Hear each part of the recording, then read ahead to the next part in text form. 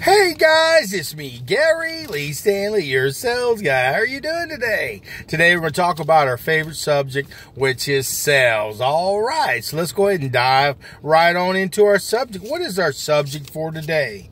Our subject for today is why you shouldn't be afraid to buy a home or a condominium or some type of real estate.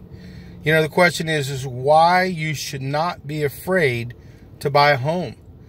Let me explain something to you. A lot of people, they think that they can't do something because they're afraid, I don't know, probably because of failure. I've been there, I've done that, and I've written some of those checks, and I'm unfortunately having to say that sometimes fear, which is false evidence appearing real, keeps great people like you and me from succeeding and being the best that we can be.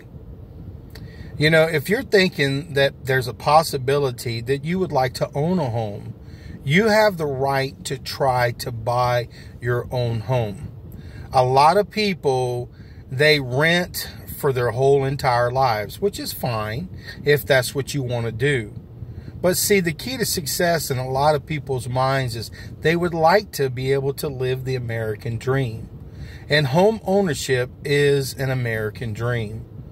I don't care what country you come from. People come to America because they want to own a business or they want to own a home. They want to have a better way of life.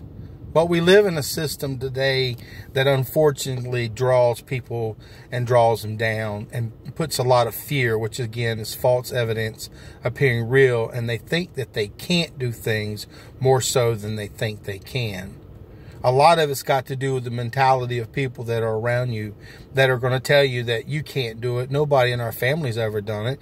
I mean, you can't do it because I couldn't do it. People are going to try to steal your dream.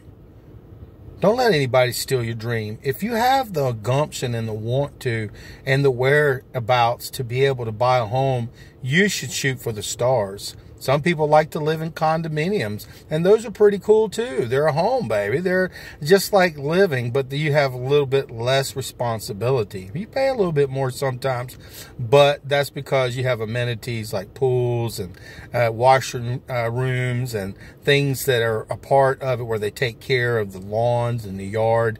But if you're a person who wants to own a condo, that's awesome. If you want to own a home so you can have your own private place where you come home every day to take off and kick off your shoes after a hard day's work, or you want to bring your children up in a better place. Sometimes people rent a lot for years and years and years, and I've been guilty of it. I mean, when I, I was a renter for years and years and years.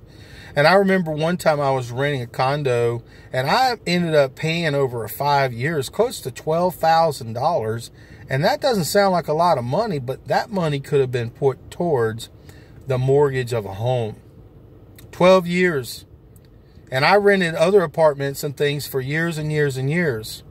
And then one day I thought, well, maybe I should try to buy a house. And I did. And what I did was I had to talk to a banking system. Now you can go to your own private bank. And what are the keys to success when you do this? You can also talk outside sources that can walk you through a process to buy your home. They've got first time buyers programs. They've got all these different types of programs to help people who want to buy a home. And our subject for today is why you shouldn't you should not be afraid to buy a home. If you're spending close to a thousand dollars a month on a, a rental piece of a property, you can end up buying a house for about that, if not even a, a, little bit more based on, you know, your interest rate and the escrow and the taxes and things that you need to have to pay when you own a home. But if you think that you would like to try, you need to talk to what they call a loan officer or a loan originator. These are people that can take a look at your credit. They can tell you what you need to work on. They will go ahead and pull your information, look at all the debt that you have, and they can say things where they can help you get out. You know, if you if you want to buy a home, they can teach you how to get your credit cleaned up. They can tell you some ideas and suggestions on what you should do to alleviate some of your debt so that way you can buy a home.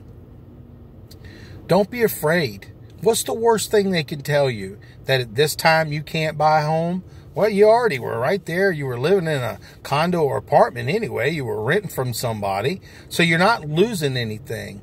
But what it does give you is ammunition. So that gives you information so you can figure out, well, I got to go ahead and pay this bill off, this bill off. I need to get my credit score up. And I'm telling you, mortgage origination, uh, mortgage originators and people who do loans, they want to help you because they have a vested interest. Because if you're able to buy a home, that means they're going to make some money.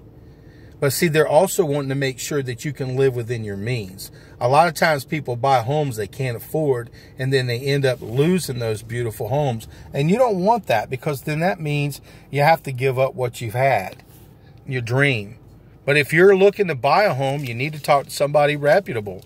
You know, my name is Gary Lee Stanley. I am your real estate sales guy and I sell other products too.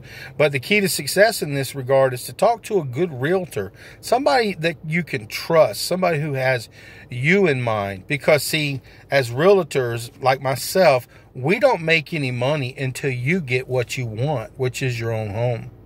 And by us working really, really hard and diligent, we can help you get hooked up with the finance companies that can help walk you through the process to at least get you on your way. And I've seen people that at first they weren't able to buy a home because they had some outstanding debt or they had some credit issues.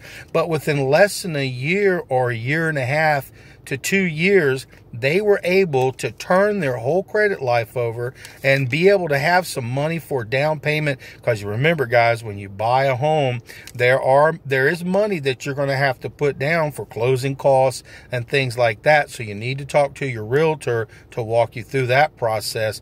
And you want to try to save as up as much money as you can to put as far as the down payment.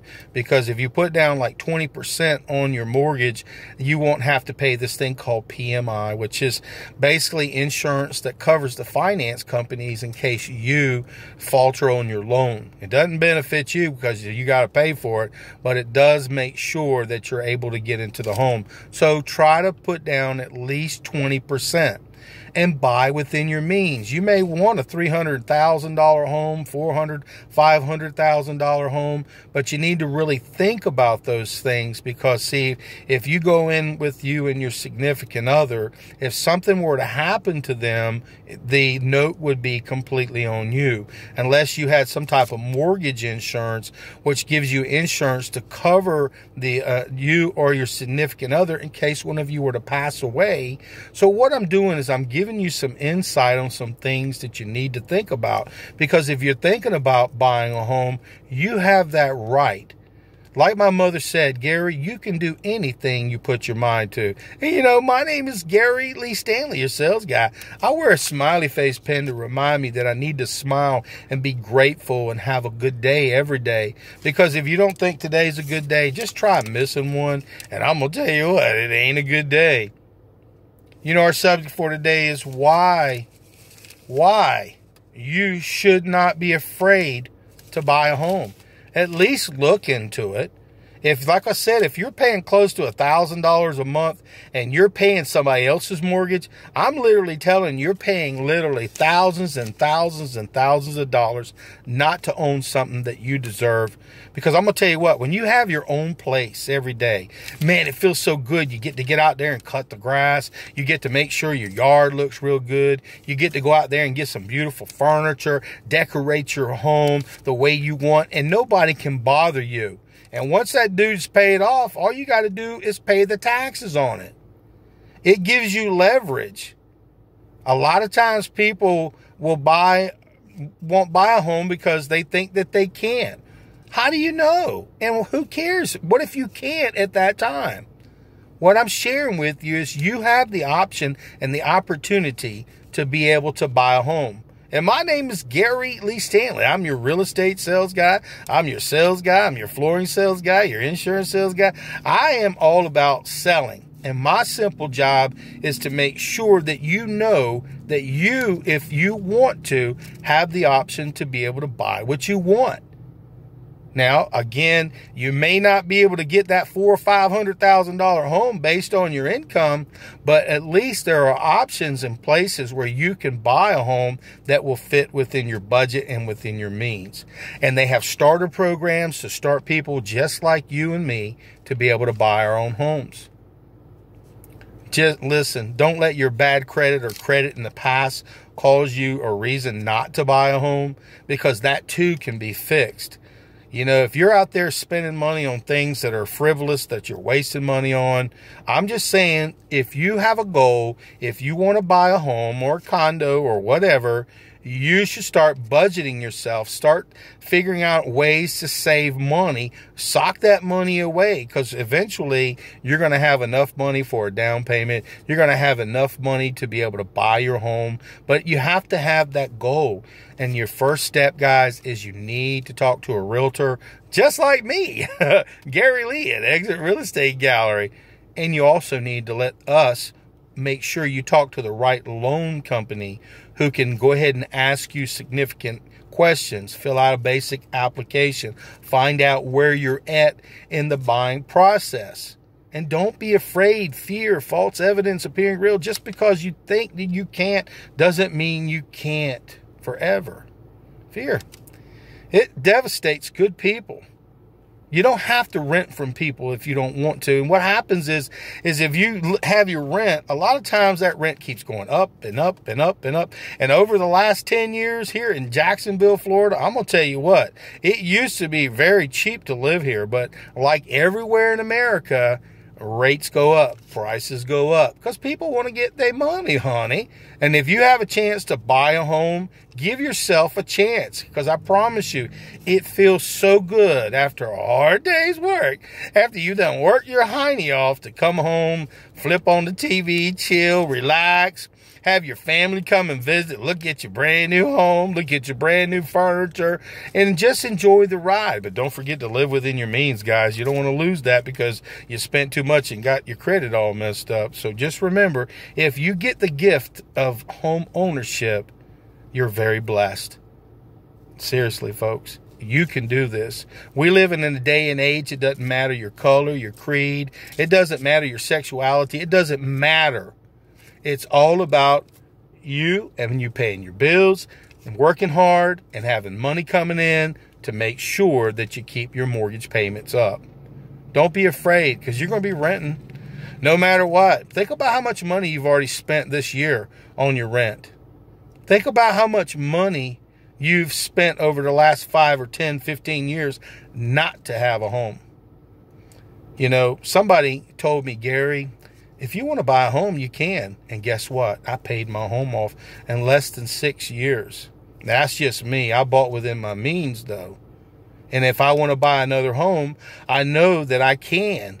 But you have to have a reason for want to home a home. If you have family, or if you just want to have a place to call your own your own. It's the American dream. I know it sounds corny, but guys, it's really, really true. You know, my name is Gary Lee Stanley, your sales guy.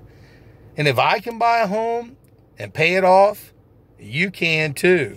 And our so total subject today was why should you not, or should you, why should you be afraid to buy a home?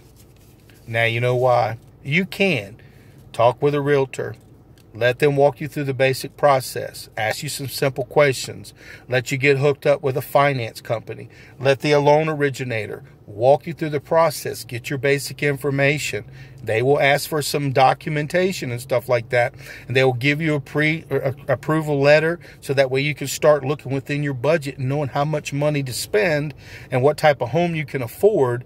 And on top of that, they will help you if you're not there yet to help you learn how to rebuild your credit, get yourself back on task. And it's better to know than not to know all right, so go out there and get your house. Don't be afraid. Do me a favor. Have a wonderful day. And if you want to buy a home, don't let nobody steal your dream. Don't let nobody tell you you can't because you can. All right. Buying a house. All right.